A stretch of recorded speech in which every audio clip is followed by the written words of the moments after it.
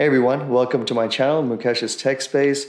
If this is your first time watching one of my video tutorials, I post videos on AWS Lightsail, WordPress setup and configuration, and videos on other web hosting tools and services. I also have videos on WordPress tips and tricks, mostly for the beginners. So if you are interested in this type of content, please consider subscribing to my channel and check out all my videos. I have over 40 video tutorials now on web hosting on AWS Lightsail.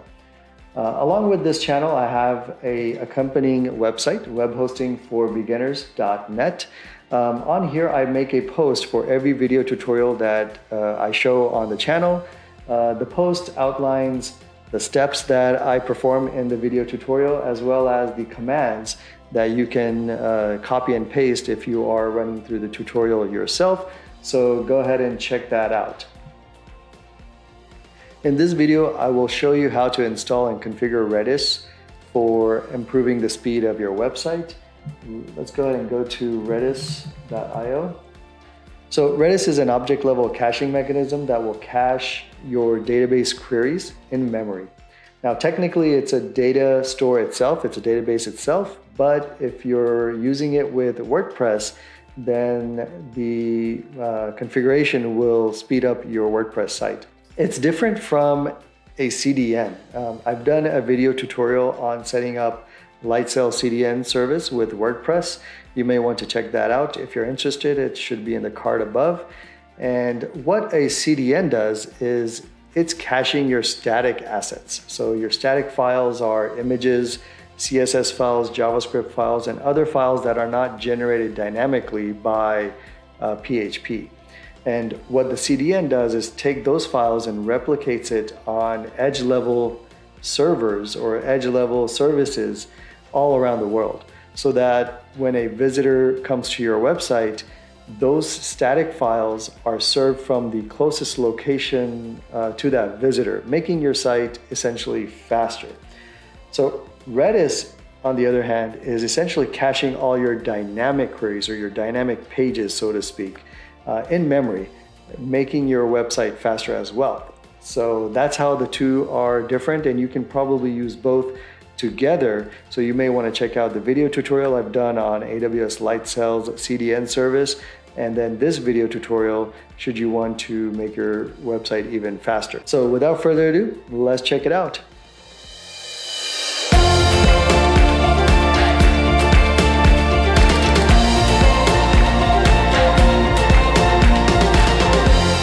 So before we get started with the video tutorial, I wanted to remind you to make a backup of your entire server. If you are on the AWS Lightsail platform, then you can easily create a snapshot before you run through these video tutorials.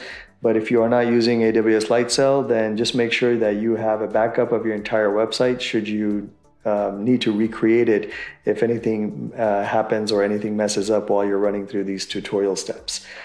Also keep in mind that I am using the Bitnami WordPress blueprint um, that's available in AWS Lightsail for this tutorial. If you have a different setup of LAMP or your WordPress website, then some of these commands that I show you will be slightly different. I will try to link to some documentation that may help uh, in case your setup is different, but just know that this is all AWS Lightsail and the Bitnami WordPress blueprint. Also for these steps, you will need your own VM. Uh, if you're on AWS Lightsail, then each of these instances is a VM. But if you're not, then at least you need a full access uh, via SSH to your server to perform, perform these steps. If you have shared hosting, this is really not for you. However, check with your shared hosting provider to see if they've already configured Redis on their servers. Then all you have to do is perform the WordPress plugin side of things. Um, but if they don't have this configured or if they've never heard of Redis, then uh, perhaps it's time for you to switch uh, your hosting providers. And AWS Lightsail is a great platform to migrate your website from. So, and you have about 40 plus video tutorials that can help you with that. Okay, so let's create a new instance. We'll select the Linux Unix platform and then the WordPress image. The same. we'll just call WordPress Redis and create the instance.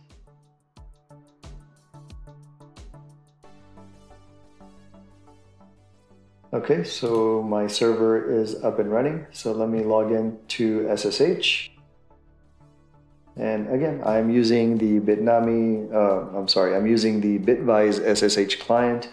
Um, it's a, um, a free tool. So if you are looking for an SFTP or an SSH client, consider using Bitvise SSH client. So I've configured that, I've logged in, and let's see, so we are in our home directory and we have Bitnami's apps installed here. So the first thing we're going to do is run the apt-get update and upgrade command. So sudo apt get update. And by the way, this will be Ubuntu 20.04 um, as of this video tutorial that the Bitnami blueprint is based on. And I think PHP 7.4 is also configured and Apache 2.4 uh, for this Bitnami blueprint. Okay, so now the next command is sudo apt get upgrade. And this should just take a minute or so. All right, uh, and now we're going to install the Redis engine. So apt sudo apt get uh, install Redis server.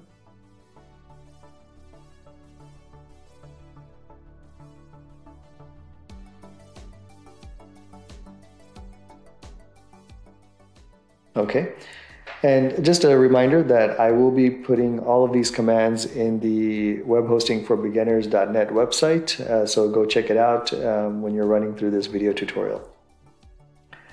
Uh, the Next item is let's check if our Redis server is running.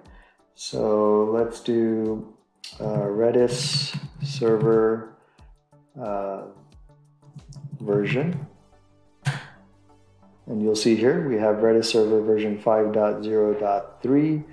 Uh, let's see, we also need to check if it's running. So I am going to copy and paste this line. And the Redis run Redis server runs on port 6379. So that's what we are checking here is if there's anything listening on port 6379 and we see that there is a service listening on that. So our Redis uh, server is installed and running. Okay, so next we will make some configuration changes for Redis. So let's go ahead and VI into and open up Redis, Etc. Um, Redis, redis.conf. And we're going to add, um, actually probably uncomment these two lines, max memory. So search for max memory and we will uncomment the max memory line and here we will put 256 MB, and then the next one will be max memory uh, policy. And then we will set that to remove no eviction, and we will set that to all keys LFU. And we will save that file. Now we'll need to restart uh, Redis.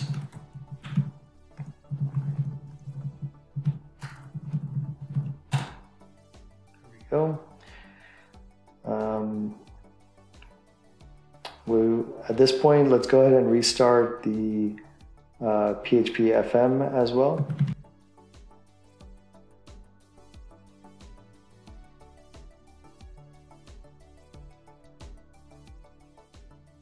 Just make sure that that comes up. Okay. Um, the next thing we need to do is install the PHP extension for Redis. So we'll run a command sudo pecl install Redis.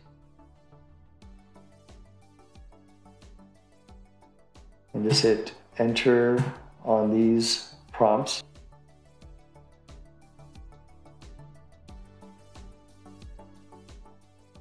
Okay, and then the last item that is it's already telling us to do that, which is add the extension equals redis.so to PHP INI. So that's what we will do. So cd to opt bitnami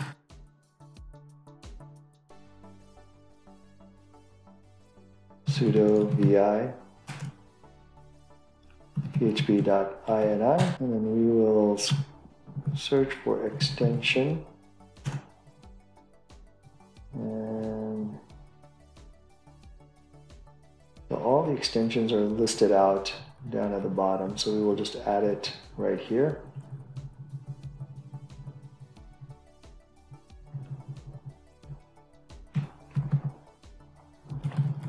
Extension equals redis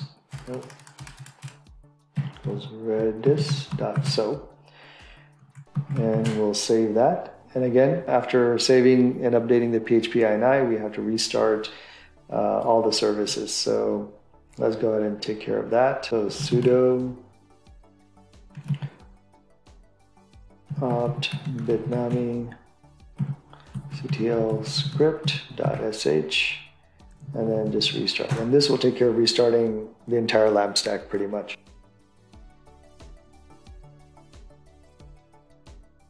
Okay, so now let's run php-m grep redis. So we'll verify that the module is installed successfully. And we see that that's coming back.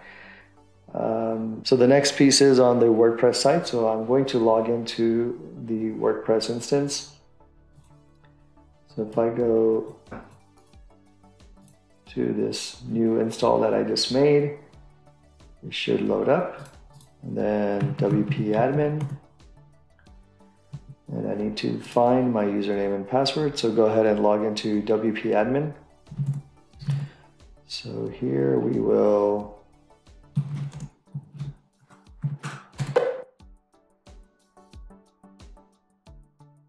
So log into your WP admin and then the plugin that you'll want to install is Redis. Go ahead and install this and activate it. And then the next thing we'll do is add a couple of uh, parameters to our WP config. So let's go to apps, WordPress. So you'll find your WP config file and open it to edit. And then here you'll want to add these two keys. And I will usually just add it to the bottom here, like right above this line. Like that. Put this on the same line here. And then what you'll want to do here is uh, put the uh, your domain name here. Okay. In my case, I will put the IP address.